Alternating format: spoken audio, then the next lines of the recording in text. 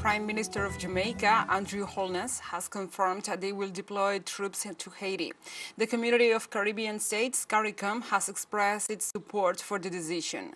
Kingston assures that the decision to be part of a multinational force pretends to alleviate the deteriorating security conditions.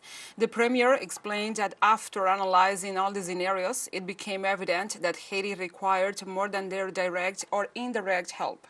Thus, the Caribbean country will send a contingent of no more than a thousand troops that will be under Kenya's command.